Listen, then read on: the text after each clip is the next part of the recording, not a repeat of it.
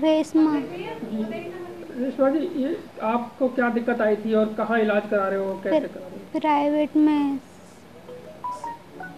और ऑपरेशन करवाया बच, बच्चेदानी का। नरेंद्र मोदी की इसमें योजना में। हम पे कार्ड इस कार्ड से ही करा रहे हैं।